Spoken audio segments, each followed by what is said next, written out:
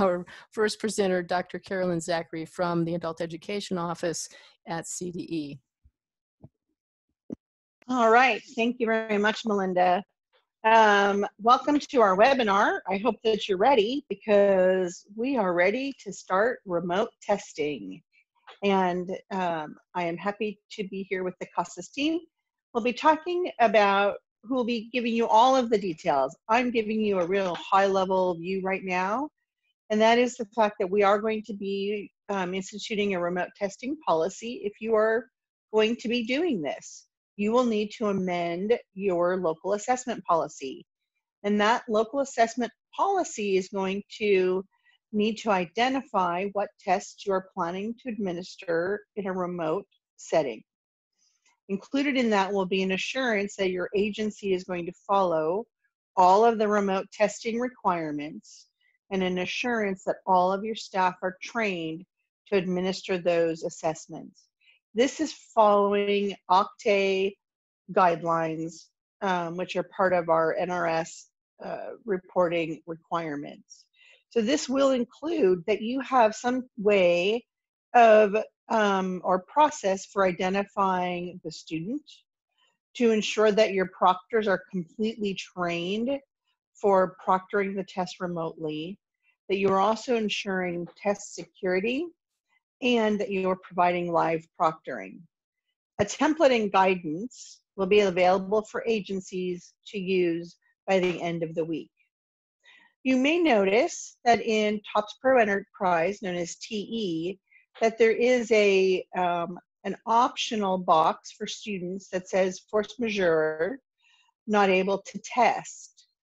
This is what we will be using as we um, provide you the guidance. So don't do it now, but as we provide you the guidance for what to do if you are not able to do remote testing with students.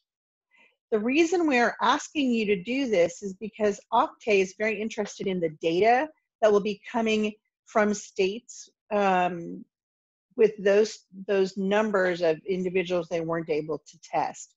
We will be including this information in our narrative report to um, OCTAE. Okay, I know these two words cause a lot of anxiety for everyone. So I want you to all breathe. And I want you to be aware and know that the Adult Education Office knows that you are very concerned about your payment points and that you're concerned that COVID 19 is going to dramatically impact the work that you're able to do with your students and the results of all of that hard work known as payment points. We will be evaluating all of the data that comes out of this after it is certified by your agency and that doesn't happen until August where you do your certification. So we will not be evaluating this data until the fall. I want you to um, understand that the data from the 1920 year is used for your 2021 22 grant award year. So it's not used for your grant award that's coming up here in July. We really want to um, evaluate the data very carefully and ensure that um, agencies are not dramatically impacted by COVID 19 and the inability to test students, because we know that this is an equity issue across the state. What we really want you to focus on right now is on your students and using testing to help your students see their growth, as well as your teachers, so that your teachers can see the growth that the students are making in a remote setting. So we encourage you to use it for those purposes, relax about it for payment points. We will be focusing on those in the fall when we have the data, which is what we really need to have to be able to look at all of this. I would also encourage you, those of you that have issues with connectivity because of the remoteness of where uh, your agencies are located, to look into the RACHEL device. This could help with your connectivity. And I've asked Penny to put information about this in the chat. And it is from the World Possible Organization. And so this may help you in your re remote setting. And with that, you're welcome to email me any questions that you have. So with that, I'm happy to hand this over to Pat Rickard, President of CASAS.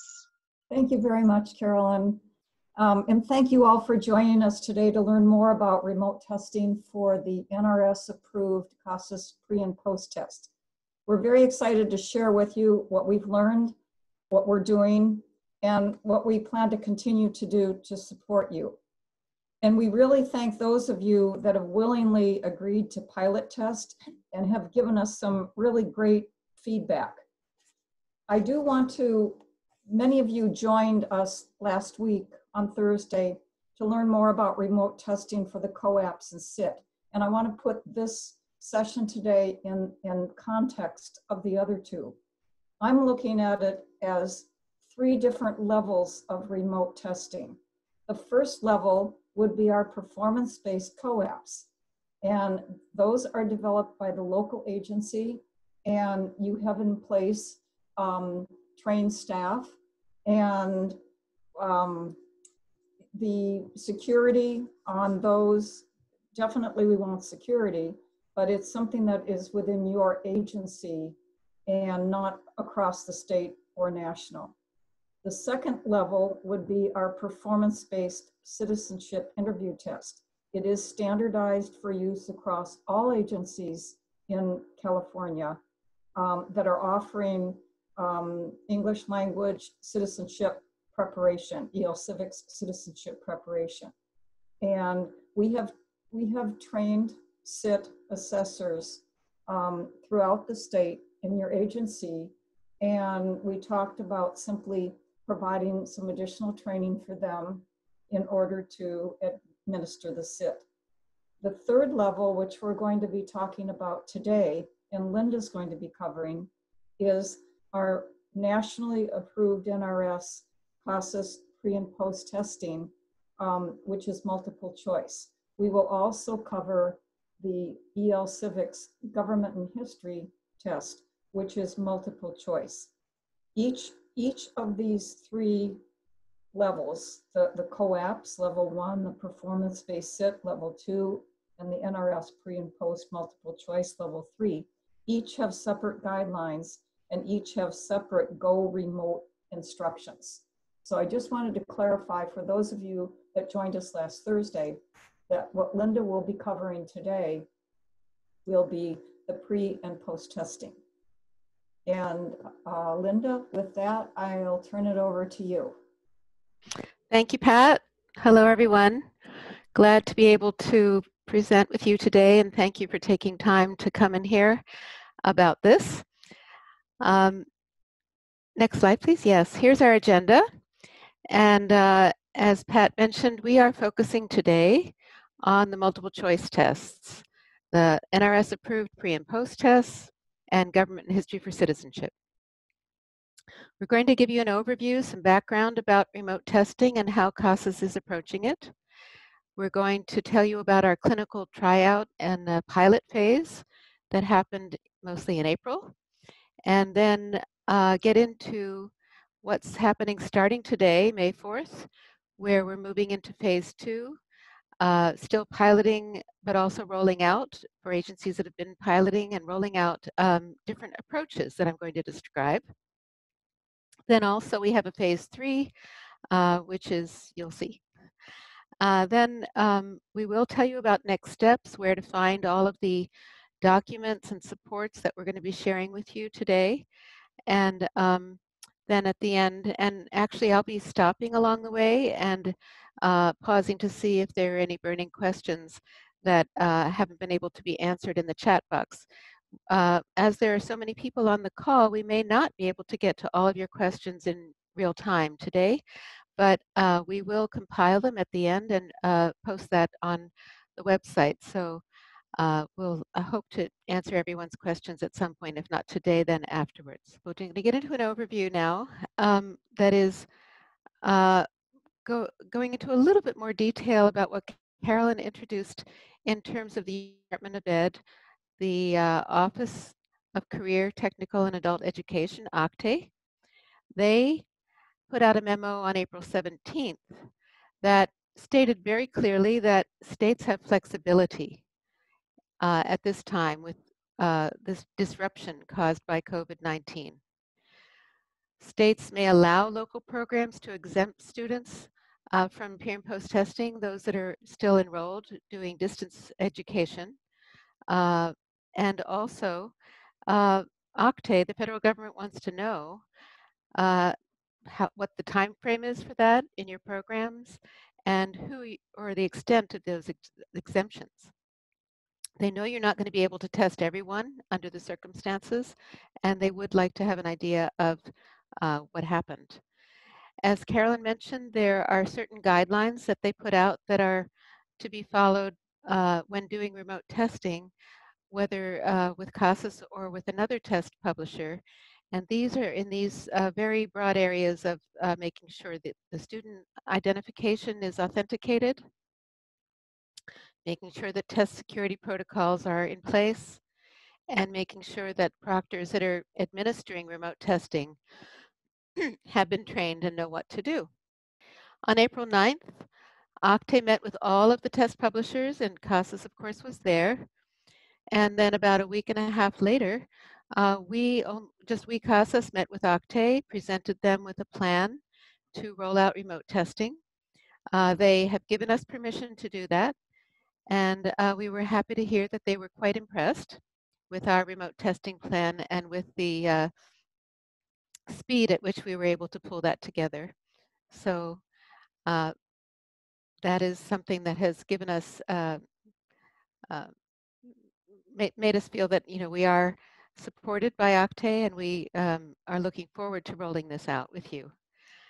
Um, we did conduct a webinar on the 20th of April with state directors in 30 states and told them what our plans are. We have actually had uh, pilots going on in the last few weeks in probably 15 to 20 states, including California. So it's really being uh, tested by uh, programs like yours all over the country.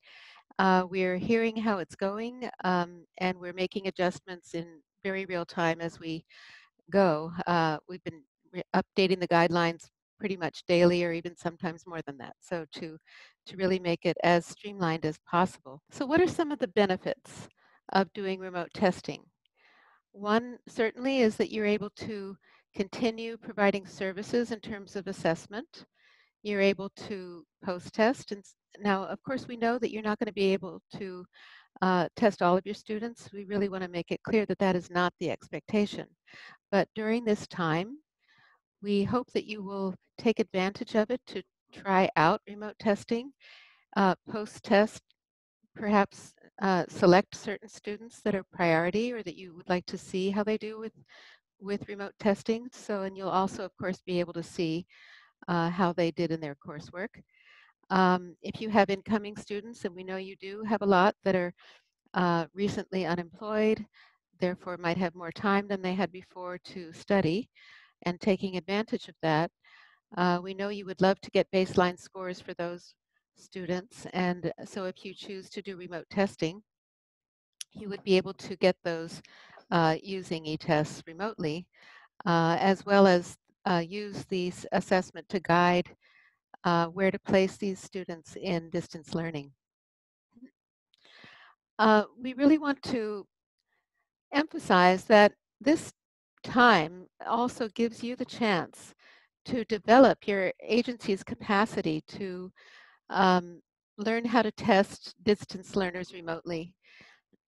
and when all of this is back to at least some semblance of normalcy, uh, that will add a lot of flexibility to your assessment programs so that what we envision is that our all of our assessment programs will consist of both a face-to-face -face component as well as a remote testing component so that you'll be able to uh, test students that have difficulty coming in to test at your test centers. So it looks like remote testing is the wave of the future uh, so that we can do distance learning as robustly as we've now uh, learned how to do or are still learning how to do. And uh, we actually are very much in a learning mode, uh, but feel that we're improving uh, day by day in terms of understanding what's possible, how to do it more efficiently, uh, more cost effectively uh, and with additional types of technology. So uh, we do uh, know that we're learning together and look forward to that. Now, challenges. I'm sure you all could fill the chat box with all the challenges that you've already encountered with um, distance learning, getting that going. One of them, first and foremost, I'm sure, is the students' access to technology, the equity concerns related to that, the digital divide that uh, has come into such sharp, sharp focus these days. Um, when you're going to consider doing remote testing, you'll need to have certain devices for proctors and students, and I'll be uh, giving you details for that shortly. Um, smartphones are too small, as you, I'm sure, can understand for the, uh, the test items that we have in our uh, NRS approved tests, that they would not be able to see them well on a screen, and that would mean that in turn they would not be able to perform well on the test. So unfortunately, although most of our students do have smartphones, that is not a possible device for uh, the pre and post testing.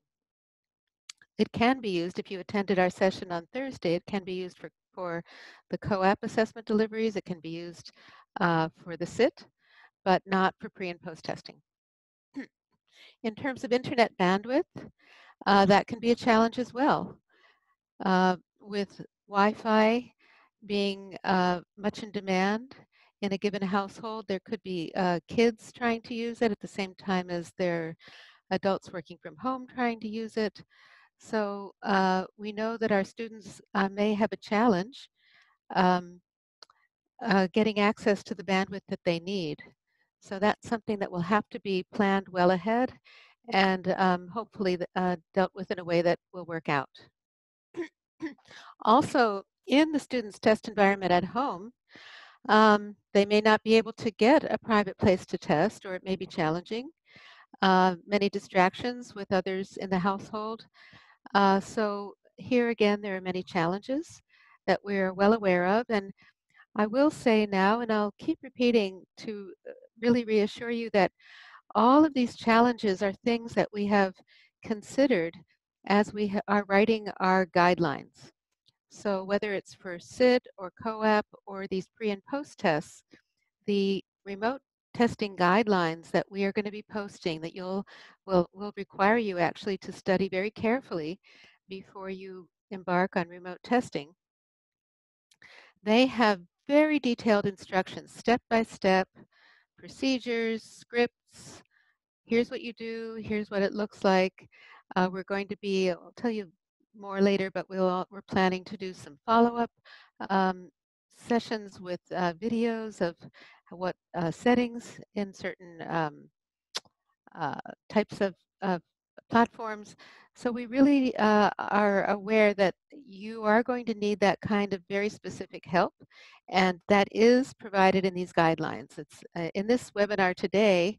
We don't have time to go into all those details. I'm going to get into some level of detail, but um, please be assured that all that these guideline documents have uh, very, very specific instructions. So it is going to be uh, somewhat of a challenge for you and your program staff to learn and implement these new processes, but um, based on our pilot testing, uh, with a little help from CASAS and um, a little practice, we're sure you're going to be able to do a great job. Uh, we are, we know that um, your proctors have been trained to give e-tests face-to-face, but they have not been trained to do that in a remote manner. So we are relying on you to ensure that they have uh, read the guidelines carefully, that they uh, take advantage of the training that will be posted as recordings on the CASAS website, and that they are ready to go when it's time to go. Um, test security is extremely important and you know, we're not going to be able to make it airtight, but we hope that we can close up as many loopholes as possible and we really are going to count on the goodwill of our students to some extent, but we are putting in place as many precautions as we can without making it too cumbersome for you or the student. Equity concerns uh, already been mentioned to some extent with the technology, but um, there may be others. So as we researched all of this, we looked at some third-party vendors. There are lots of them out there. We met with many of them. What we found is they're expensive, a little bit steep for our adult ed budgets, 15 to $20 an hour to have a live proctor in a third-party vendor. So that's not what we went to first. We may reach out to them and perhaps have be able to crack a deal that is affordable uh, at some point, but at this point in time, we are not offering that kind of solution, uh, nor uh, an artificial intelligence solution uh, at this time. And um, we looked at a variety of video platforms. We talked to state directors and their staff. We talked to a lot of folks who are familiar with distance learning to learn what we could from their experience with that. We made weighed multiple factors. Um, cost, which in terms of the technology to use for remote testing, uh, we think is fairly minimal. However, there is a cost in terms of staff time. And that is because uh, with remote testing and the need to be able to observe the student in real time, it's necessary to limit the number of students that can be tested at one time. And so it's between one and five we are allowing at this point. If we find we can allow more, great. But we understand that that is going to be uh, labor intensive and therefore costly for your programs, uh, depending on how many students you decide to include. Again, though, I want to emphasize that this is a time when you're trying this out and you are not obliged to do this remote testing. But if you do want to try it, it will be uh, more labor intensive because of the high ratio of proctor to just one proctor to only a, a maximum of five students. So we understand that. There's really, I'm sorry, nothing we can do about it, but um, uh, that is the situation at this time. We know that uh, there may be technology constraints, uh, both for proctors and students, which perhaps you've already been working to alleviate when you've done uh, distance learning now by uh, loaning out um, devices. So perhaps that's a way that you can work this out as well. Uh, test security is something that we'll talk about. It takes somewhat different forms with remote testing. Ease of implementation, uh, we've tried to make this as easy as possible, though it does take a bit of doing in terms of understanding how to set up the video uh, platform and et cetera, all the different steps, but it's possible and doable. And we know that many of you are very eager to get started. So we've tried to address that urgency by making this available on a very short timeline from compared to how we normally develop new types of assessment. In terms of, of the delivery, it will be live proctoring, so that's in real time, synchronous. Uh, there's something called a remote testing agreement where we'll want to have one per agency, uh, and that will cover all of the different remote uh, assessments that are possible. There's a, an agreement for proctors that you will have them fill out and keep on file at your local program. And then students uh, this is not something we've had to do before, but because they're at a distance and not uh, under our watchful eye uh, next to us, we will ask them to verbally agree to certain uh, test security promises. In terms of delivery, uh, it is on eTest, so we need you to use certified eTest proctors who've already been, uh, ideally who already have experience using eTest. So uh, they must be certified proctors. Uh, there's no, by the way, additional certification for the eTest administrators, just the proctors. And uh, these proctors will need additional remote test training, as we've just said. Um, we had originally talked about videotaping, but we have gone away from that. Uh, after thinking it through a bit more and getting input about it, we have um, decided not to require videotaping of these remote assessments. It's just a little too cumbersome and hard to figure out how to store them. Lots of reasons. So that'll make it easier for you. Uh, and also could be a privacy issue. So no videotaping required. Also, just to be very clear, the CASAS remote testing cannot be delivered with paper tests. Uh, if you're doing remote testing, it can only be with CASAS e-tests uh, for the pre and post tests. Now, uh, in terms of COAPS or SIT, you may um, you may the, the conditions are different and you still need to be able to uh, see the student live, but um, there can be some paper involved. Uh, but we'll explain that. Uh, that, that is uh, explained clearly in the previous webinar and um, we, we can clarify that. It's all laid out in the guidelines for COAPS and, and the SIT as well. But as far as the pre and post tests, no paper tests. Also, we know that in some programs, they have figured out ways to do face-to-face -face testing even during these times uh, of the COVID-19 crisis. Uh, that could be in corrections programs. We know that some programs have gotten creative and have found ways to have students uh, take the test in their car, getting a box, you know, that's that they come and pick up. They and it's never uh, never touch touch they never touch uh, uh, anyone on the staff's hands. Anyway, there are ways, I guess, to do it where you can observe social distancing and still have the student be doing it in person.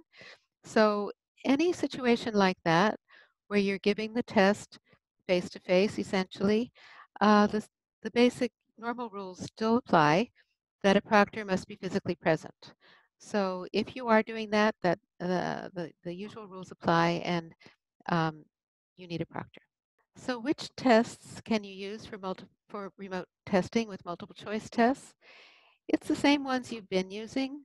The goals series, reading goals and math goals for ABE and adult secondary. For ESL, it's life and work reading and the life and work listening, 980.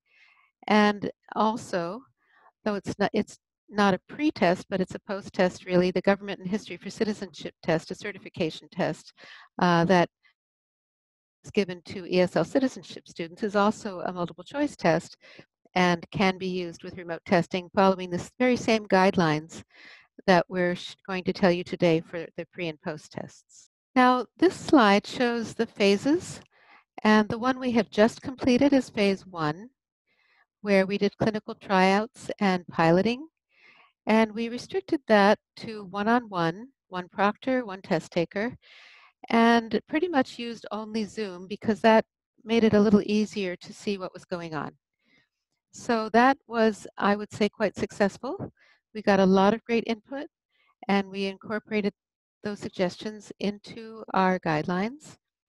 Uh, starting today, we are moving into phase two, where we are going to be uh, uh, having, if you're just starting up, we're going to ask you to pilot. That is, you know, not go full scale right away, but um, start small, pilot, and then roll out uh, whether Zoom or another platform like GoToMeeting, WebEx, or other ones. Uh, one-on-one -on -one is one option. Another option is uh, proctoring with up to five test takers, and that can be with a um, with various devices. I'm going to explain the details soon, and that will soon include Chromebooks. It does not include Chromebooks at this moment in time. That's something that we hope to be able to have available within a week or two. Um, so we're talking weeks and not months. And it's uh, very, very shortly, we hope to be able to make it possible with Chromebooks. But uh, starting now, you may uh, test up to five test takers with these other platforms like Zoom and GoToMeeting, for example. And then uh, we are adding on the ability to do remote testing with the Listening 980 series, as well as the Government and History for Citizenship test. Uh, in the future, uh, we are still interacting and exploring with uh, third-party vendors if we can uh, possibly work something out to make that work. Uh, there are other options we're looking into uh, that if they can make this a more efficient and less costly proposition, we will certainly um, look into them and let you know as soon as we've worked anything out. All right, let's go on to the next slide then, and we'll. Uh, so now I'm going to tell you in, a, in some more detail about the three approaches uh, that we have um, come up with so far and that we're making available. The first one is one-on-one. -on -one. And in this approach, the test takers have a variety of devices that they can use. That's one of the advantages of this approach. They can use a PC, they can use an iPad, or they can use a Mac. And in this scenario, the proctor needs to register their computer, and it has to be a Windows 10 because the proctor is going to uh, run e-tests on their computer and then remotely share their screen with the test taker through the web conferencing platform. So that's why this can only be one-on-one -on -one because the proctor is loading one test onto the proctor's computer and then sharing that with one student. Uh, the proctor and the student are connected and uh, be able to see each other real time using a mutually agreed upon web conferencing platform with a webcam. And they need uh, an internet connection that is 2 Mbps or higher. Okay, let's go on to the next solution. In this one, it is possible to test up to five students. However, the, I would say, challenge here is that the test takers have to have Windows 10 PCs. So that may be a high bar, we know that, but we do want to make it available in case uh, there's a chance that you can provide students with these, or if some students do have uh, a PC with Windows 10, then they could, uh, and you could also take advantage of testing more students. Um, this is necessary because uh, that's they have to be able to run e-tests on their computer. Uh, so another aspect of this approach is that the test taker's computer has to be registered. And just want to let you know that for the purpose of remote testing, we are allowing there to be only one person, that is the proctor, to register the student's computer. Normally, we require two uh, certified staff to do that, but for remote testing, we are waiving that requirement. And uh, so the proctor would be able to register uh, the student's computer. Then uh, using the web conferencing platform that you select and the webcam, you, the proctor would be monitoring these one to five students. And again, you need a, uh, and I, I believe this is not a very um, fast uh, internet connection, but again, given that it may be uh, in competition with others at home using the connection, it might be challenging. So part of, uh, again, these detailed guidelines, uh, step-by-step -step instructions you're going to get, there is a link uh, and all the instructions for how to test the proctors and the students' internet connection speed. There, uh, there are a number of websites that do that. And that's something that you'll have to do on the day of testing. You can do it before to double check, but also, I mean, to see if it's even uh, close. But also on the day of testing, and this is in the guidelines, you'll be uh, checking their internet speed to ensure that day that they're going to be able to have a fast enough, strong enough internet connection to do the job. The third solution is coming soon. And we know it's eagerly anticipated, and that is with Chromebooks. Uh, because we know that many of our students either have a Chromebook or their students were given a Chromebook, or you can give them a Chromebook uh, because they're so affordable. And so we are moving as quickly as we can to make the Chromebook solution available. And uh, in this solution, the test taker uh, would register the Chromebook on uh, their Chromebook that they have at home you would help them set it up, register it. Uh, again, just only you and not two people. Then, uh, like in so solution two, uh, the proctor would monitor uh, using a, a live web conferencing platform, and you can do up to five students. But the difference here is that with Chromebook, uh, you can only run one application at a time. So in this uh, scenario with Chromebooks, the test taker would have to use their smartphone uh, with the video cam to, and they would set it up on the side so that the proctor would be able to see their screen and to see the test environment uh, while they're taking the test. So that would be how we do a workaround with Chromebooks because you can't have the web conferencing platform on uh, working on Chromebooks at the same time as e-tests. Um, by the way, one thing that is, again, in these very detailed step-by-step -step instructions is that we ask the proctor to do a sweep of the uh, testing environment. Uh, and this is something we, we explain to the student beforehand. We encourage you to have a, a session before the testing day or before the test session to um, explain to the student and they, so that they can be aware and anticipate all of these uh, situations that would be new to them, including this requirement that the proctor will need to uh, scan the room, that the, the, student will have to scan the room so the proctor can see. Uh, this is to make sure there are no people there who could be giving answers to the student, no inappropriate documents, papers, aids uh, that might uh, help the student answer questions. So it's a test security measure. We know uh, it could make students slightly uncomfortable, but we hope that you'll have a way to explain to the students that this is necessary for um, test security, that it's only for that purpose. We're not looking at anything else in the room, just looking for that. And this would be done before and after the test session. Or if the, if the proctor senses that there is something amiss, the proctor can also ask the student to do that anytime if they're concerned. And of, there's also instructions in the directions that uh, if you if a proctor sees a reason to uh, be concerned, then the proctor can interrupt the test at any time and uh, try see if it, there is a real concern. In, in which case they would in, they would stop the test, and then uh, as I think you all know, you're able to start the test up again if appropriate, or end the test and end the session. So this is a mock-up version of these guidelines, just uh, to let you know they do exist. They're quite detailed, about 20 pages with examples and um, scripts, etc. So there is something called an agency remote testing agreement. This is a form that will ask every agency that intends to do remote testing to fill out one per agency.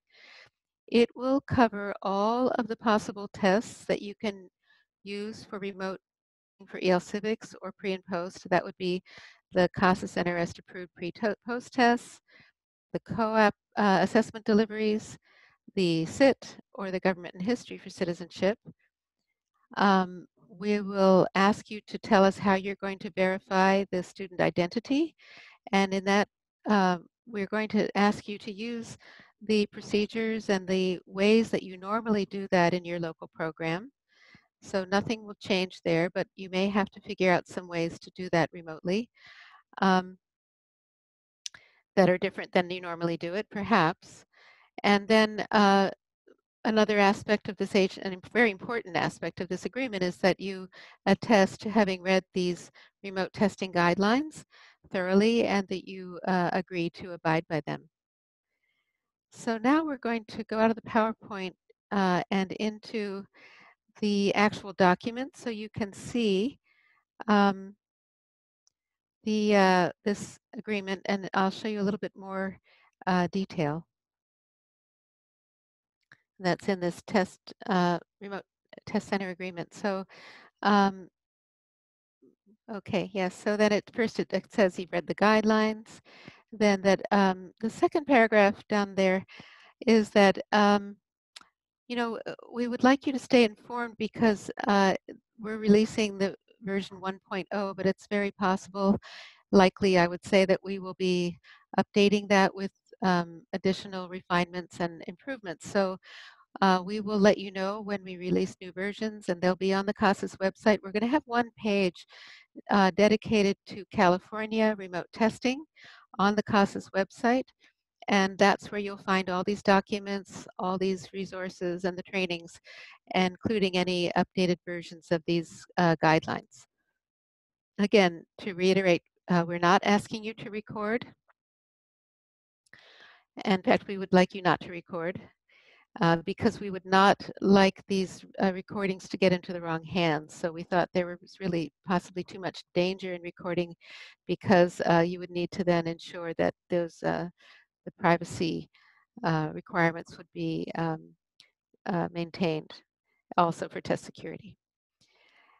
All right, so then here we would have you list um, which test series you're going to use by checking off which ones you plan to use. And, uh, you know, we're aware that when you fill this out, you may perhaps uh, decide to use certain of these tests and not others. So um, if that changes over time, that's fine.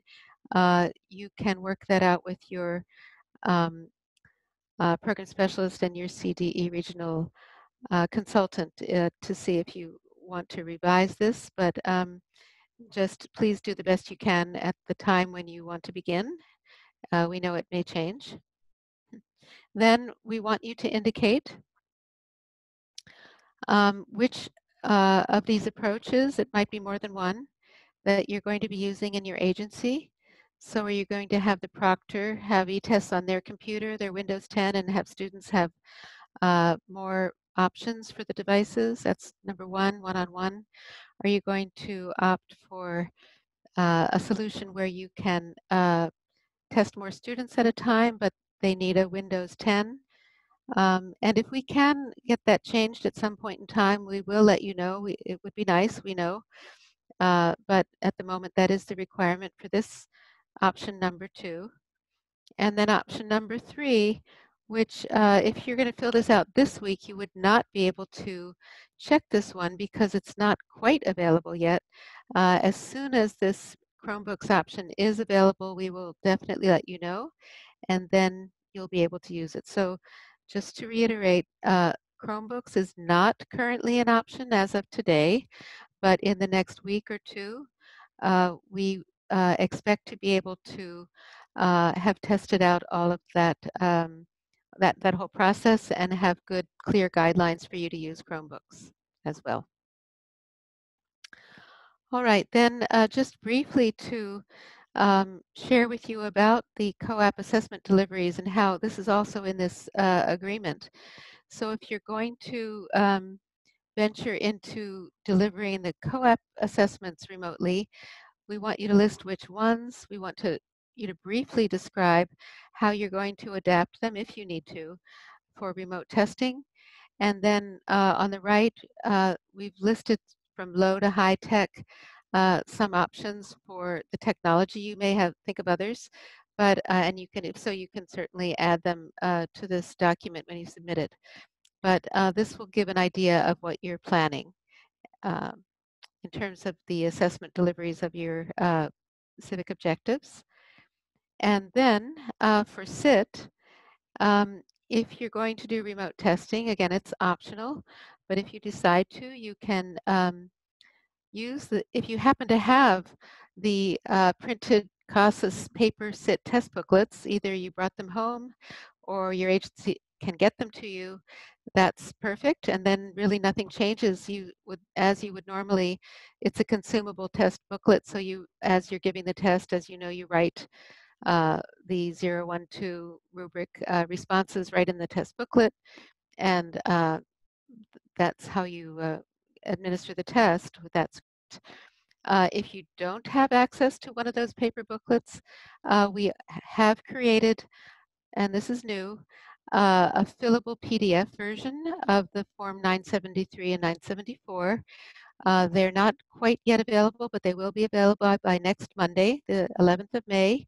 That's when all of these things will be on the CASAS website. So uh, please uh, have a little more patience. We're almost ready with, to roll these out.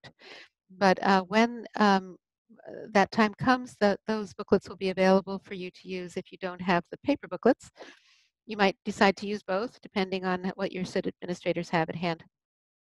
And then for SIT remote testing, there's just two options for the technology and platforms, and that's smartphone with a video camera or computer with a webcam and phone. Then uh, we already talked about the identity uh, requirements, and then when you're going to start, estimated, uh, is what we want to know. Okay, back to the PowerPoint. And so then um, the Proctor remote testing agreement is something that will also be on the CASAS website. Uh, it will uh, basically have each proctor attest to the fact that they've read the guidelines, that they uh, will ensure that the student uh, verbally promises to um, uh, also abide by the guide, the, these agreements, not to uh, cheat or um, basically to follow all the test security rules. And um, this agreement, uh, if you have proctors that do more than one assessment, they just have to do one of these forms, and it's something that you keep on file locally with your uh, local assessment policy. Now, uh, we're going to get into the remote testing version of the Going Remote checklist. Uh, we've had this type of thing for uh, eTests onboarding called Going Live with eTests, but this is the Going Remote with eTests uh, process. So the first thing, and uh, extremely important, is that your agency has already implemented CASAS eTests. Uh, and if you haven't already, but you do want to try this out, you can, uh, during this time, take advantage of the uh, time to go through the certifications and get all your staff certified and get set up in eTests. That's something that our tech support and other staff is available to help you with even uh, during these times. So uh, please feel free to um, seize the opportunity to do that now if you're not already on eTests. Uh, you'll need to complete that agreement we just talked about, the agency level agreement. You'll need to um, make sure that the proctor has the equipment uh, necessary um, to implement the scenario, the approach that you decide to use or approaches, um, and that ideally, ideally that they're experienced in e-tests so that they will have a little bit of an easier time uh, doing this. Um, you'll have them complete that Proctor remote testing agreement. Then you'll uh, make sure they know how to access the training materials on the CASAS website. There'll be the recorded trainings, there'll be some YouTube type how-tos, there'll be FAQs, there'll be uh, there'll be the detailed guidelines step by step. There'll be also a, a, a quick start, like a, a, short version of that, that once they get uh, good at the uh, using the, the detailed script, then we'll have, like we do for e-tests, uh, the steps for testing day kind of document where they can have a shorthand version of that that they can refer to easily. Now the, the training is not required, but it is very much recommended and it, so it's optional, but we do highly recommend that you have your staff do this training. Then, uh, and as far as your test takers having the technology they need, or if you need to help them by uh, providing them with some of the technology in order to make this happen. Um, registering the test stations is something that the proctor needs to do with the one-on-one -on -one solution where they share their screen or that the proctor needs to do for the student in the uh, second and third approaches where the student takes e-tests on their own computer. Then you're going to review and select the appropriate test sessions um, and you really want to be ready uh, with those uh, at the time of testing so you're not holding up the process as you go to find those.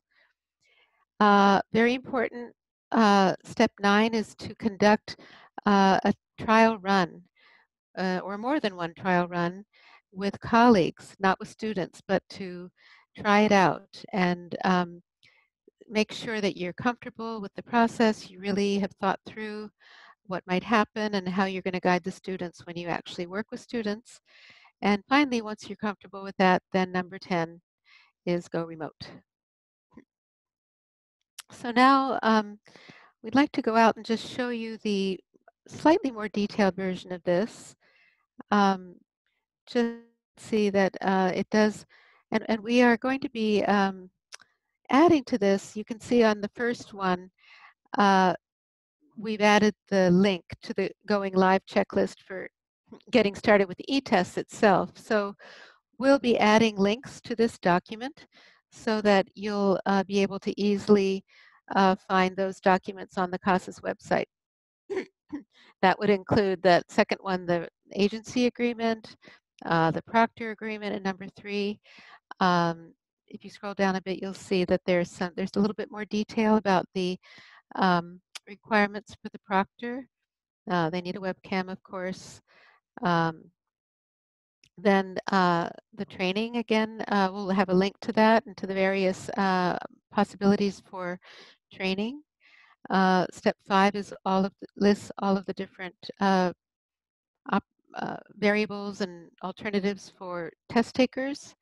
Um, so there are a lot of different ways to go, and you'll have to see which ones will work. Again, I want to apologize. I know it's frustrating that uh, it's limited to only five students or depending on what you uh, kind of technology you have, just one-on-one. -on -one. And we know that you're not going to be testing your usual 25 students in a remote proctoring mode. It's simply not possible.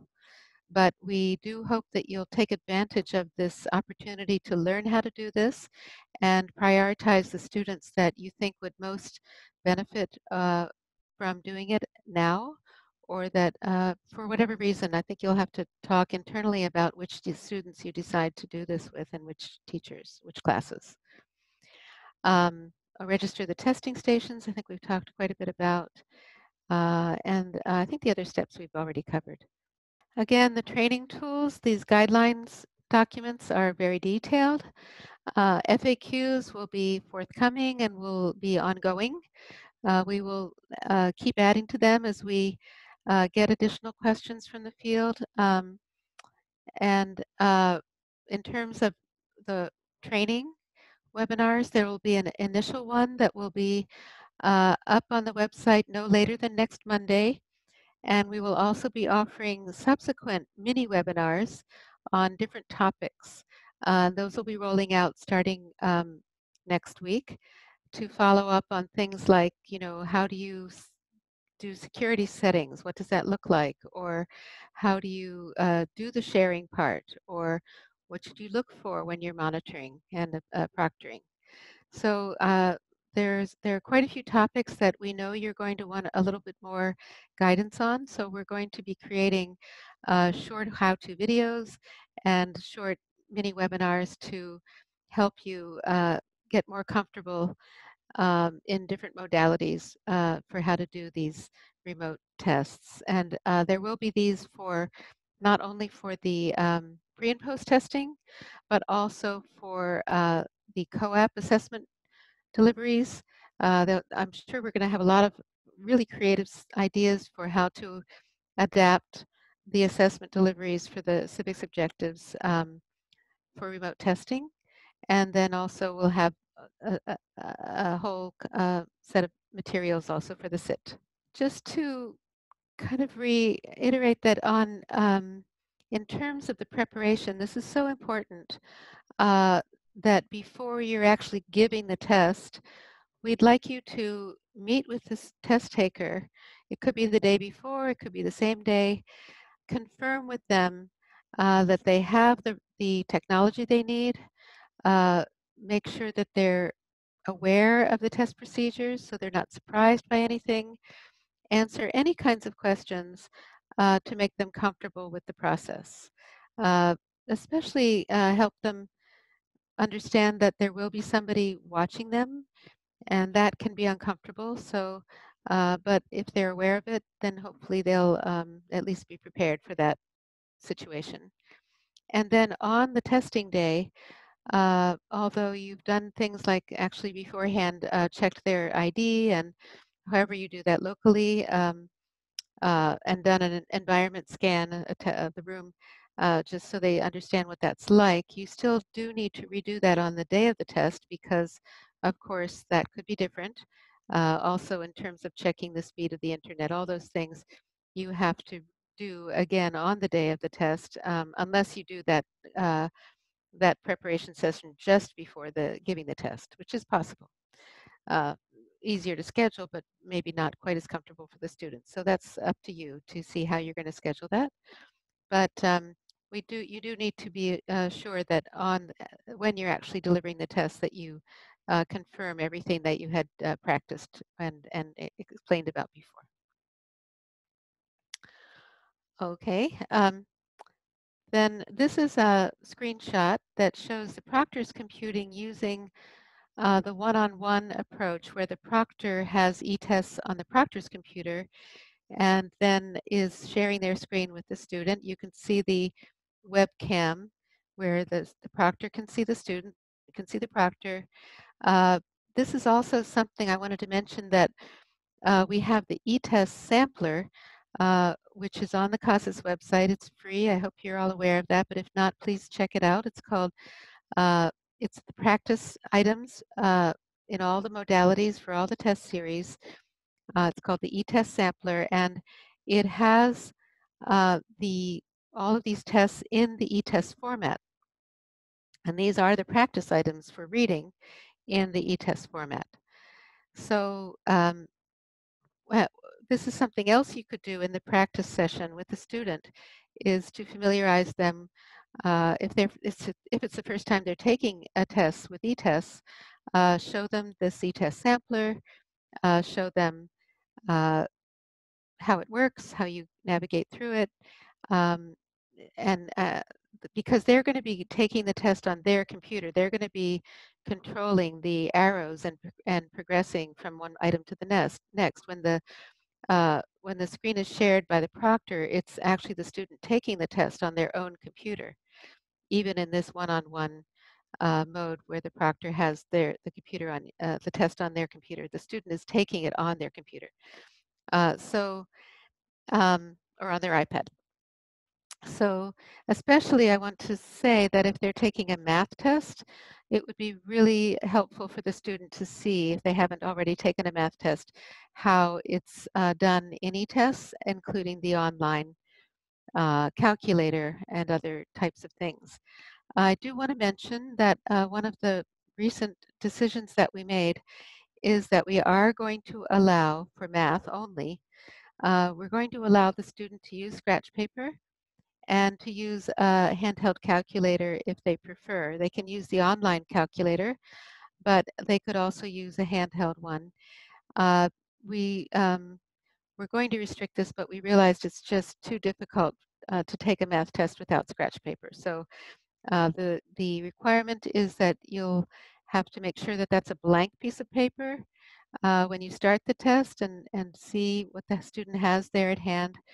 And at the end, you'll have to make sure that the student tears up that paper in little bits in front of your eyes to make sure that it doesn't go anywhere else after the test. So um, these are some of the things that are, this is a, a, very good example, I would say, of the kinds of things that are listed in great detail in the guidelines. Um, I, I, see a question here about what does it look like when you're uh, delivering the test with uh, more than one student. And I don't think uh, today we can go through that in detail, but what I can say is that in the guidelines, it does go through step to step how you work it out. Uh, in Zoom, for example, uh, they have what are called breakout rooms. In other platforms, I think they call them private rooms, where you can have the students all together. Then you can take the students into the breakout, into one by one into a breakout room to check their ID and uh, work it work it out in that way. So we have that all detailed out in the guidelines, and um, yes, uh, that's how it would work. All right, um, next slide, please. So one of the things that is coming soon is that we are going to be able to, uh, we need to be able to identify uh, which tests are given remotely and which tests are given face-to-face. And we will uh, very soon find a way to embed that in the eTest software so that you'll be able to indicate that. Uh, that will enable us to compare student performance on remote as compared to in-person testing. Uh, we certainly hope that with good preparation of the student that they'll be relaxed and will be as well as relaxed as you can be taking a standardized multiple choice test, but that they will be able to do their best and uh, uh, have comparable performance uh, as they would on an in-person test. Um, I mean, they'll be in the in the comfort of their home. Perhaps, who knows? Maybe they'll do better. But um, we do want to see, and also we will be, uh, as we as we always do. We have ways of uh, reviewing uh, test security issues in the back end, where we can see, for example, if a test uh, was taken very quickly, uh, that can be an indication of guessing. Uh, there are other data type indicators of um, test security problems. So we will continue to do those sorts of checks as we roll out and uh, ongoing as we do remote testing. Uh, as was mentioned in the beginning, there is a field, a new one, in TOPS, TOPS Pro Enterprise called Unable to Test due to force majeure.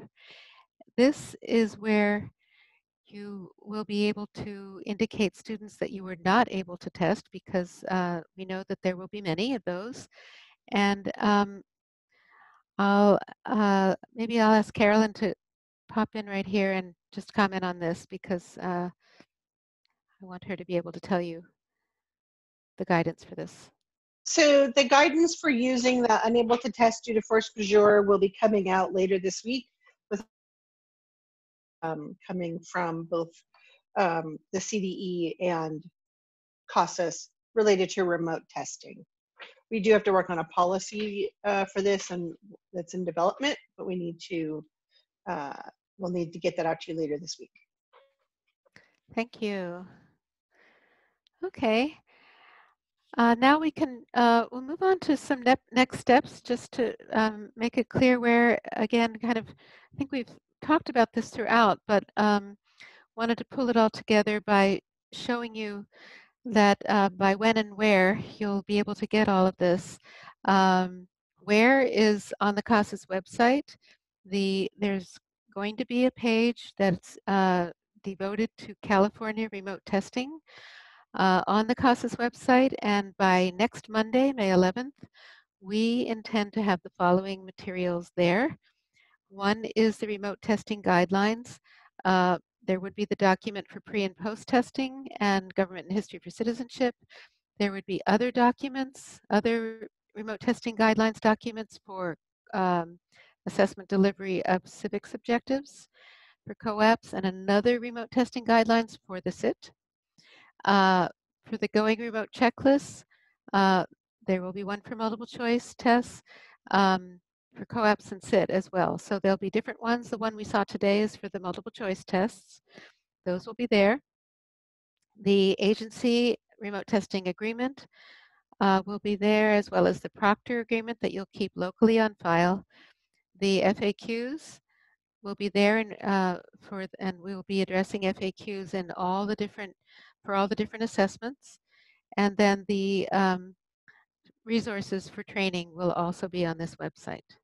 As far as today's webinar, the recording, the PowerPoint, and the Q&A responses will be uh, on the OTAN website. And just a minute, uh, I'm going to turn it over to OTAN so you can see exactly where that will be, which I think you are familiar with the COVID-19 page.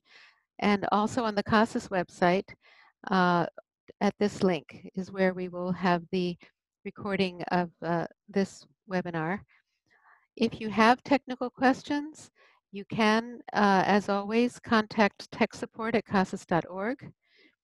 If you are interested in pilot testing with remote testing, we would very much welcome that. And uh, if you would like to do that for the pre and post testing or for the government history or for COAPS or, or the SIT, please contact your program specialist and um, you can talk about it with them, see if uh, it's something you really want to do, and if so, uh, we can go forward and help you out to get started. Well, in that case, I'll ask Pat if uh, she would like to make some closing comments. Thanks, Linda. Um, I, I, just wanted to um, reaffirm that the um, at this time with the COVID-19, trying to do remote pre and post testing uh, using the CASAS assessments is not required. This is a time when you might take the opportunity to get staff trained, to actually try out and practice within the agency, and to, to build capacity. And, and so we really encourage you um, to look at the long, at the, at the long-term um, outcome, which is building capacity of staff in order to, on an ongoing basis, be able to serve um, students, both in class students and remotely with uh, following up with COAPs, with the SIT, and with the pre and post testing. And we are all very much aware at this time that um, the students lack the, many of our students lack the te- technology um, in, in order to do this.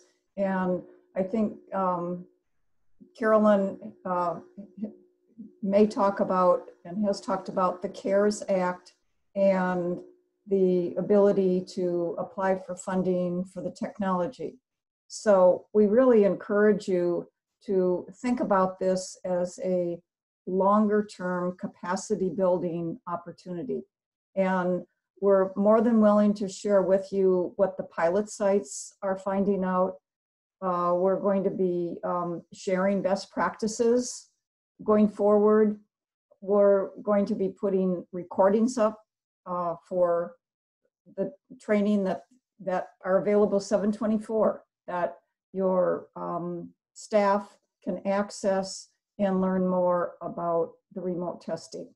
So we really thank you very much for on this very interesting journey with us. And we are going to be working with you now and into the future so that we can really make this work for all of our students. So thank you very, very much for your participation today.